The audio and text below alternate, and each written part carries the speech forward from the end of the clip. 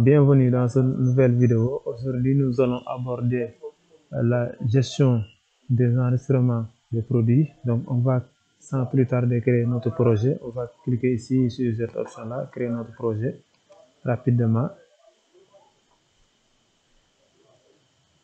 Application Android iOS. Donc, on va prendre plateforme ou Android uniquement.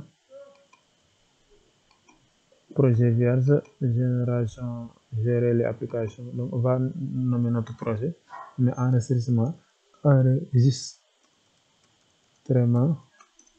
underscore produit. Enregistrement underscore produit. On va cliquer sur suivant, suivant, ne pas utiliser CD, suivant, c'est les chartes suivant. Donc, je vais utiliser quelle, quelle charte descendre. J'utilise cette charte là. Blue.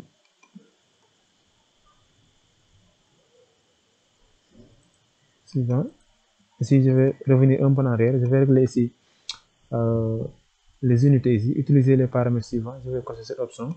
Au lieu d'utiliser l'euro, je vais franc, CFA, notre monnaie. Ici, séparateur décimal, séparateur millier, je mets un point. Je mets suivant. Je vais créer une nouvelle base. La base, je vais laisser le nom par défaut. Enregistrement produit. Donc, type de base de données.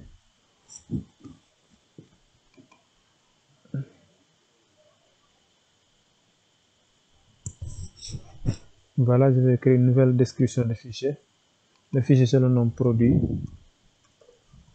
Voilà, produit suivant.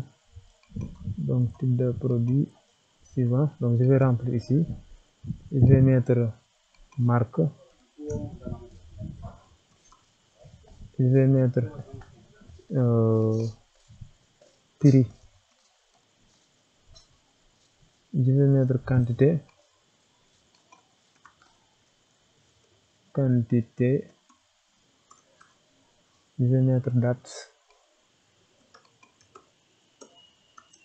Voilà. Ici, les types, le marque, c'est le type numérique, qu'elle avec doublon. Le prix, c'est le type monétaire. Euh, la quantité c'est le type numérique. La date, le type date. Je le mets décalé avec doublon. Décalé avec doublon. Décalé avec doublon. Enfin, je clique sur Entrée. Voilà. Le fichier déjà créé. Le voilà. Donc, je vais venir, je vais cliquer sur Générer avant de partir. Générer. Je clique sur encore cette fenêtre, CTRL N ou bien cette, euh, euh, onglet nouveau. Je vais créer une nouvelle fenêtre. Fenêtre. Je prendre, je descends, je prends une, une fenêtre vierge ici. Une fenêtre qui n'a pas encore quelque chose. Et je clique sur OK. Voilà, ici ma fenêtre, je le nomme enregistrement. Enregistrement underscore produit. Un espace pro produit underscore produit.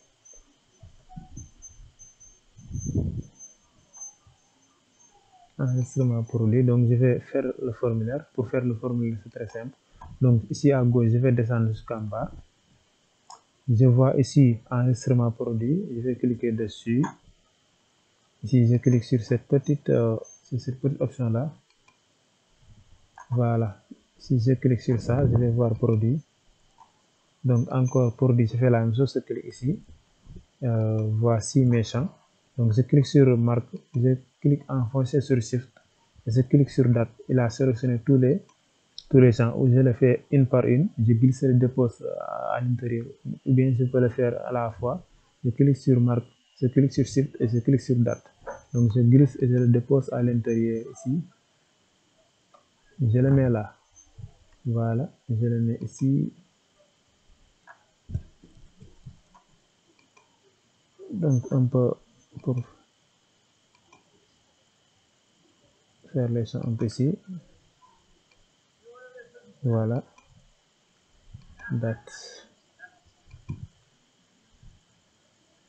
Je vais même réduire ici un peu.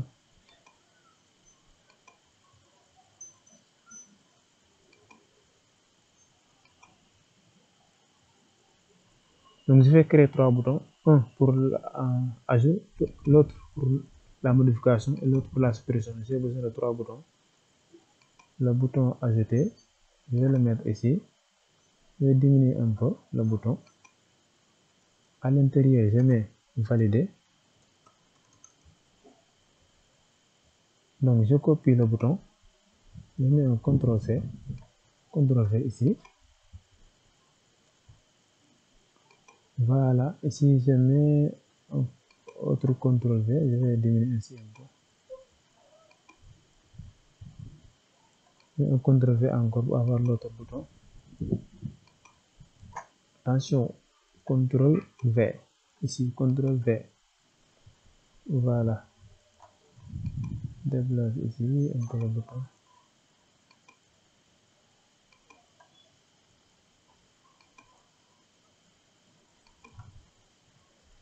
ici modifier. Et ici enfin supprimer voilà. Donc ici euh, supprimer. Donc je vais faire la, la table pour ces éléments là avant d'ajouter ici je vais faire euh, une petite table en bas où je vais stocker les éléments où, où j'ai euh, enregistré. Donc je vais venir ici sur cette euh, option table. Table verticale. Je descends je descends je le mets là en bas donc afficher les données d'un fichier ou d'une requête existante suivant. Je vais prendre cette euh, cette fichier produit. Donc je vais décocher id produit parce que j'en ai pas besoin. Je laisse trois simplement marque prix quantité et date. Je peux ici euh, déplacer les changes je veux je le mets en haut ou bien je vais le mettre en bas. C'est à moi de voir. Donc je clique sur suivant. Suivant. Ici c'est la manière dont les éléments sont affichés suivant. Table horizontale et verticale suivant.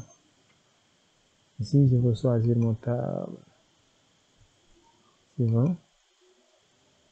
Voilà. Donc je vais faire l'ajout concernant l'ajout. Donc je vais venir sur euh, le bouton valider. Je vais clic droit. Je vais venir sur code. Ici je mets euh, la fonction qui me permet d'ajouter prendre les éléments qui sont dans euh, la fenêtre et l'ajouter dans la l'envoyer dans la dans la dans la base c'est écran vers fichier. Donc je vais prendre la fenêtre enregistrement produit. Je ferme la fenêtre. Voilà. Je fais comme ça. Si as ajout si as ajout donc s'il y a ajout sur produit donc je ferme ici. Je vais afficher un message. Info. Info. Produit. Je vais mettre le message produit. Ajouté. Voilà. Produit ajouté. Mais les gars si je laisse comme ça donc une fois que j'ajoute le produit. Si je vais euh, si je veux voir le produit je ne verrai rien parce que simplement j'ai pas encore rafraîchi la table pour que je puisse voir les produits que j'ai ajoutés mais si je laisse comme ça ça va ça va passer mais simplement que le tableau ne va pas s'afficher. Qu'est-ce que qu'est-ce qui le permet de rafraîchir la table? La fonction table. Affiche. Table affiche. Table produit. Et ici on va mettre virgule ta init voilà donc après avoir ajouté un produit il va afficher ce message là et rafraîchir la, la table d'affichage. Je vais cliquer sur ce bouton go.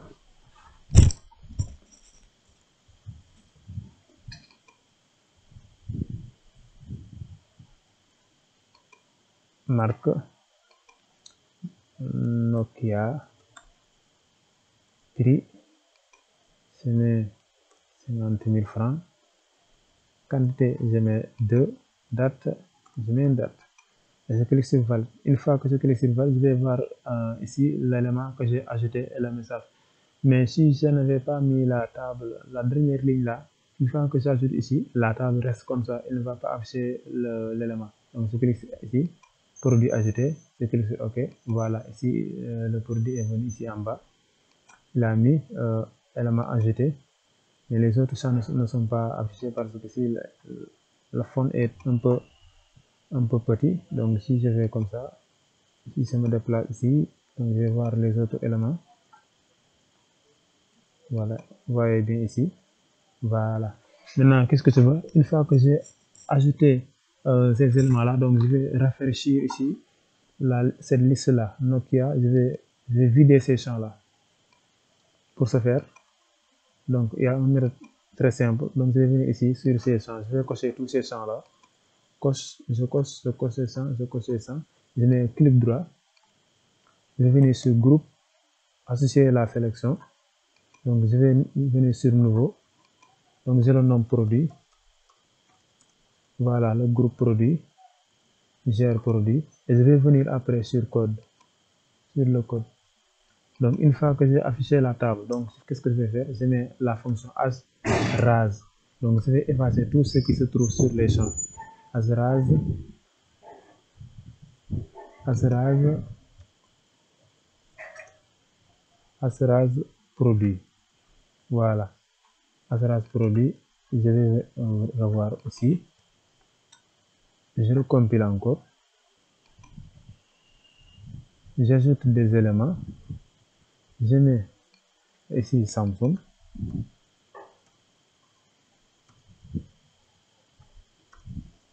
Puis je mets euh, 45 000.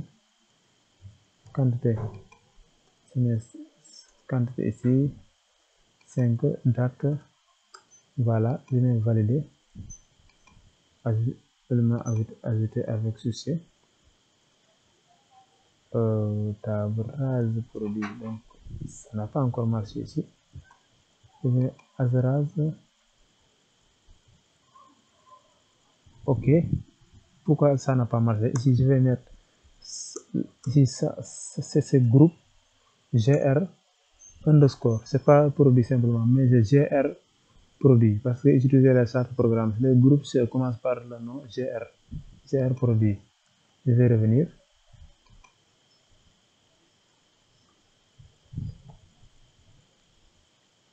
go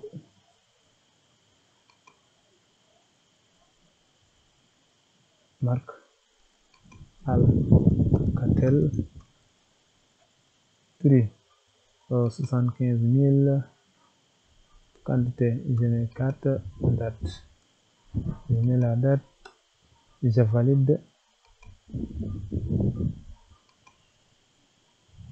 fil d'enregistrement fil de valider enregistrement produit débogué Azras produit il y a une petite voilà ça, euh, cette fonction pour l'instant ne marche pas. Qu'est-ce que je fais je vais utiliser l'autre méthode.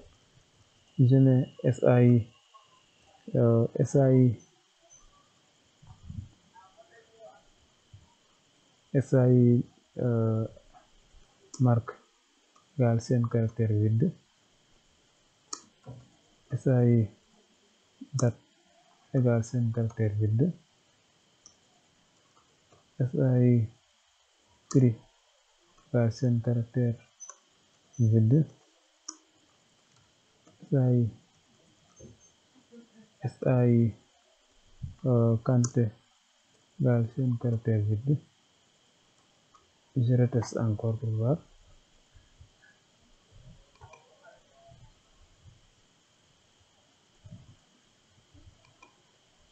Moto Motorola prix quarante mille quantité quantité un voilà valider et ça marche l'autre fonction ne marche pas après je vais voir pourquoi elle ne marche pas mais cette fonction marche pour vider les cases maintenant il reste la suppression ici pour faire la suppression donc je vais venir sur cette euh, option sur, sur la fenêtre enregistrement de départ. Je vais descendre. Je vais faire un clic sur cette euh, tableau. Je mets un clic droit. Je vais venir sur code. Je descends jusqu'en bas. Euh, donc ici, ce qui m'intéresse ici, c'est ajouter autre événement à table produit. Je vais ajouter un autre événement concernant cette table-là. Je clique et je vais m'intéresser à cette option-là. Voilà. Cette option. Euh, BTN tap, double clic gauche ici. Cette option. Double tap, bouton gauche, double clic sur produit, table produit. Donc c'est cette option que je vais cocher. Je clique sur OK. Voilà, je mets SAI SAI marque égale quoi? Égale le table table point colonne la colonne euh, marque je vais l'SAI marque je vais l'affecter la valeur de, la colonne marque SAI date même chose égale table euh, produit point colonne date. SAI marque j'ai déjà pris marque. SAI underscore prix égal table produit prix point colonne euh, prix SAI quantité égal table produit par colonne quantité. Voilà je mets un contrôle S. Qu'est-ce qui qu'est-ce que cela permet de, de, faire? Donc une fois que je clique sur le produit correspondant donc il va renvoyer tous ces champs là sur euh, les champs formulaires. Donc je fais comme ça. Je reteste encore.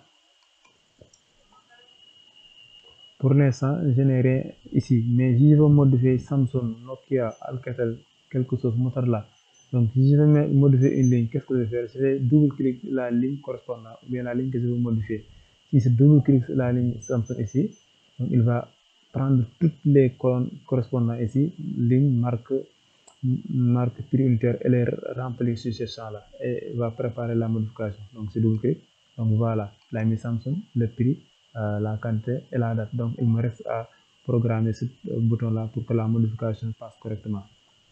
Voilà. Je reviens ici. Je reviens sur euh, la fenêtre produit donc concernant le bouton modifier je vais clic droit. Code. Je vais utiliser la fonction as. Recherche première as recherche première. Donc produit la rubrique recherchée c'est id produit. La valeur recherchée se trouve dans la la valeur qu'on se trouve dans la table produit. Et si on met un virgule on met identique. As identique. Voilà. Et si on a fait ça qu'est-ce qu'on va faire? On va faire euh, presque le contraire de ce qu'on avait fait ici sur le tableau met euh, table produit point colonne date va recevoir SAI date. Vous connaissez la suite table produit point colonne marque égale SAI marque table. Table produit point colonne prix égale SAI prix table. Produit. Point. Colonne. Quantité égale SA SAI quantité. Voilà. Maintenant je vais essayer de voir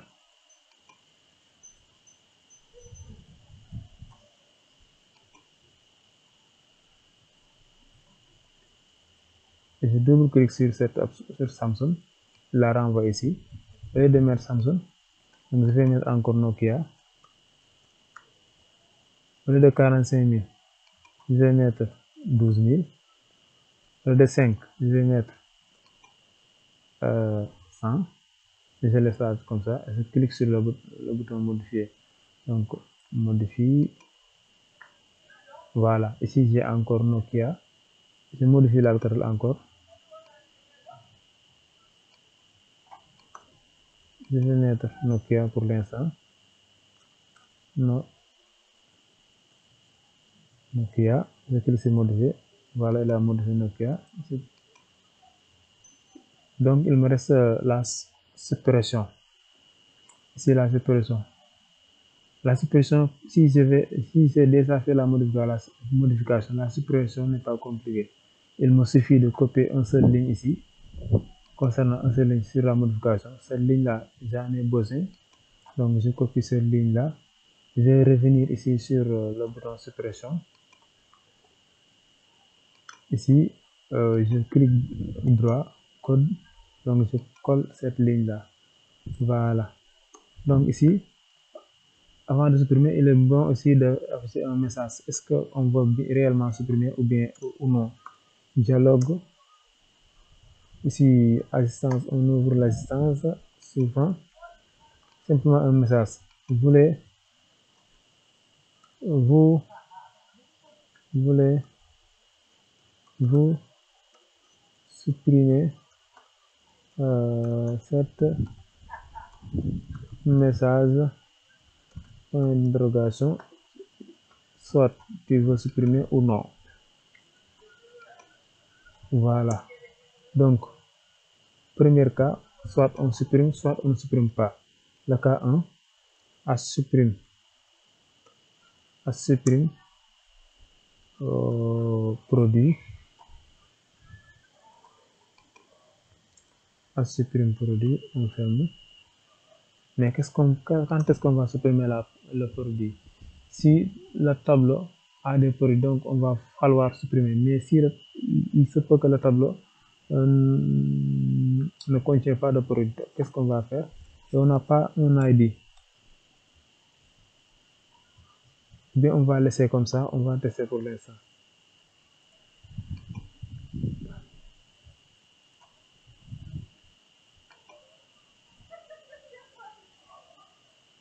Je vais supprimer ça ce qui n'est pas complet cette ligne là une fois que je clique sur cette euh, écriture sur, cette ligne là je peux venir ici cliquer sur supprimer il va m'afficher voulez-vous supprimer cet élément si c'est ne pas supprimer il va annuler.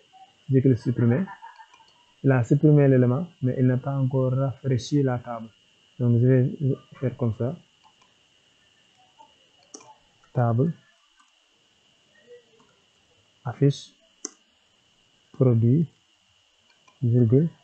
Ta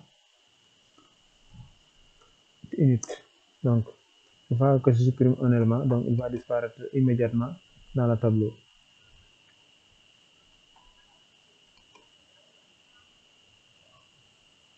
Voilà.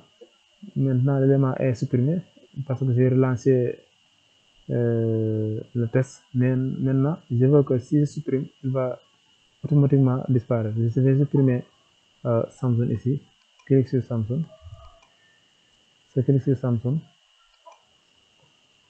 sur Motorola du je clique sur Motorola je clique sur le bouton supprimer voilà Motorola disparaît je clique sur Alcatel je supprime. Voilà. Ok il y a deux Samsung je supprime le. Voilà c'était tout. Donc la suppression passe la modification et l'autre. Donc je voulais ajouter un autre message ici sur la modification ici code euh, et sur euh, enregistrement. Donc il va falloir que je remplisse tous les champs pour que la la chose soit passée. Donc si SAI date différent chaîne caractère vide et SAI marque différent de chaîne caractère vide et SAI prix différent de chaîne caractère vide et SAI euh, SAI euh, quantité différente de caractère vide alors voilà si j'ai deux j'ai deux crochets je supprime là donc c'est bon. Donc je vais prendre simplement ça. Je vais prendre ici euh, ce qui me permet d'ajouter donc je le coupe et je le mets à l'intérieur. CTRL V. Voilà. Maintenant si as ajout si SAI donc si cette scie là se termine ici cette première scie se ferme ici. Si on indente un peu le premier scie et le deuxième ici. Donc je mettre sinon.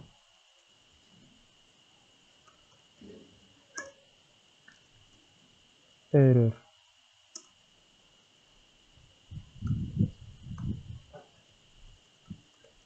Remplir les champs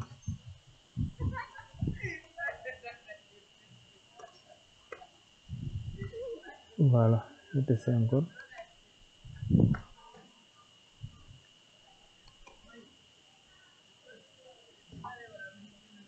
Je mets simplement un prix. Je clique sur valider remplir tous les gens tant que je ne remplis pas tous les gens donc là je ne va pas passer. Donc je vais mettre quelque chose n'importe quoi et la date n'importe quelle date je clique sur valide voilà élément ajouté je peux mettre ici c'est bien donc voilà à la prochaine inchallah pour une nouvelle vidéo